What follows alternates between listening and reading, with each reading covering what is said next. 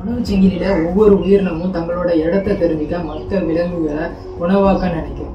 அப்படி இருக்க உயிரினங்கள் தாவரங்கள்ல இருந்து இறைச்சி வரை வந்து தங்களோட இடத்தை தெரிஞ்சுக்க முயற்சி செய்கிறது.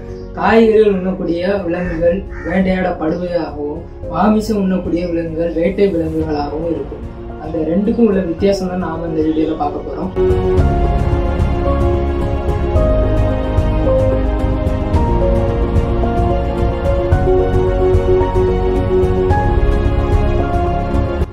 முதல்ல பார்க்க போறது என்னன்னா கால்கள்.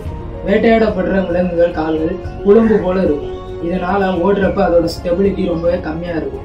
திரும்பும் போதும் கீழே விட சான்ஸ் ரொம்பவே அதிகம். இதுவே வேட்டை விலங்குகளில் கால்கள் தரையில பதிக்கிற ஏரியா ரொம்பவே அதிகமா இருக்கும். இரண்டாவது வால். பெரும்பாலும் வேட்டை விலங்குகள் வால்கள் தன் உடல்ல இருந்து வெளியில வந்து ஹேங்கிங்க அதாவது தொங்கிட்டு இருக்கிற நிலையில இருக்கும். ஓடும் போதும் திரும்பும் போதும் வாழை பயன்படுத்தி உடலை சமநிலைப்படுத்திக்குது. ஆனால் வேட்டையாடப்படுற விலங்குகள் வாள்கள் ரொம்பவே சின்னதா இருக்கும். மூணாவது அதோட கண்கள்.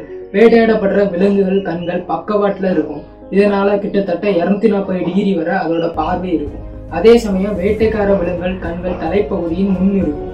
அதுக்கு கிடைக்கக்கூடிய வியூவிங் ஆங்கிள் ரொம்பவே கம்மியா இருக்கும். எந்த விலங்கோட வேட்டையாட போறதோ அந்த அதோட வியூ மொத்தமும் அது மேலதான் இருக்கும். இதனால அதுக்கு கான்சென்ட்ரேட் பண்ணி ஒரு பொருள் மேலே ஈஸியா வேட்டையாடுறதுக்கு அதுக்கு ஈஸியா கண் பார்வை இருக்கும். you.